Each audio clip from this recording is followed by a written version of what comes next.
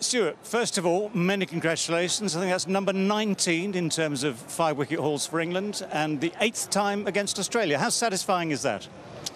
Yeah, it was nice to get five. I think we stuck at our task pretty well as a bowling group, to, to be honest. You know, when Stokesy was unable to bowl again, we went back to almost the old school when Swanny was involved and we had the three seamers and spinner. And, um, you know, I, th I think every seamer kept running in as hard as we could all day. I, I look at Mark Wood's last spell. It, I think he deserved two or three in that spell alone. He, he bowled fantastically all day. So, you know, Test cricket sometimes is about character, or a lot of the time is about character. And I think it was one of those days that we had to, to keep trucking in. You know, it's Australia's day. You know, I, there was a chance there we could have bowled them out for 350. Um, it didn't quite work for us, but.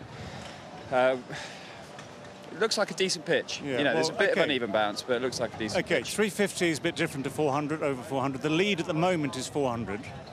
Uh, but how much of a difference does that make, do you think, those 50 runs?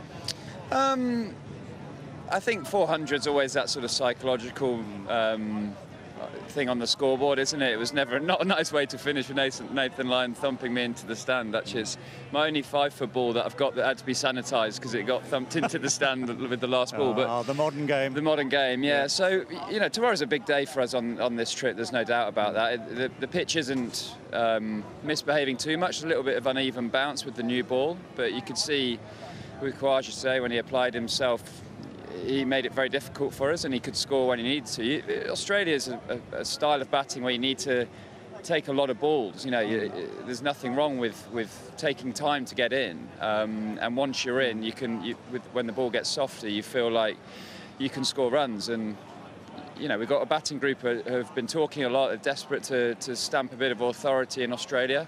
Tomorrow's a great opportunity to do that. Well, it needs to be taken. Um, I want to come back to you um, because the question has to be asked how much, for instance, today do you think you were making your points point, and how much were you just doing your job?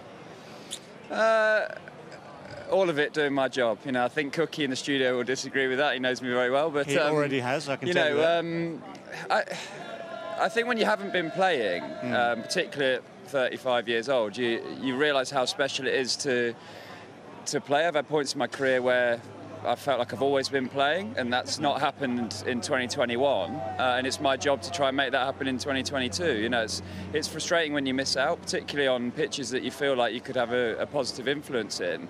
But you know, not no one here, no one's got a, a, a, given right to, to to be in the side. You have to earn that, and you can only do that with with the right opportunities. And my focus when I got picked was okay. This is a this is a great opportunity to play at one of my favourite grounds in the world. It's a great place to play. Can I run in all day, show a lot of heart, and, and what will be will be. So it's nice to get five for. I'd have preferred it to to have been a five for where you bowl Australia out for 250 and you and you really make a statement that way. But mm-hmm. you know it, there might be some more opportunities on this trip to do that. Indeed, I mean, and I know it's probably wrong to look back, um, but at the same time, in the back of your mind, is there not something that says you'd have liked to have taken five for in the first Test match in Brisbane?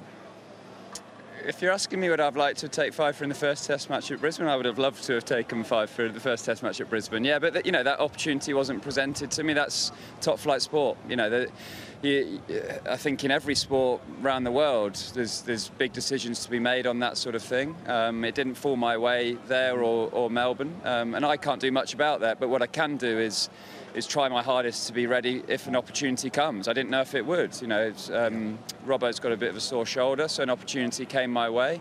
And I, uh, my work in Melbourne and Brisbane was, was based around trying to take a chance when it comes my way. And I d- I don't think I've particularly grabbed that chance. You know, five for a 100, you're not writing home about, but it, it, I felt like I, I, bowled pretty well within the plan of, of the group, and um, I still feel like I've got a lot to offer this team, whether that's playing every week in, week out like I did when I was 26, 27, maybe not, but you know, I, am old and experienced enough to know how to bowl on different pitches um, and how to get myself ready and, and right mentally when, when the chances come.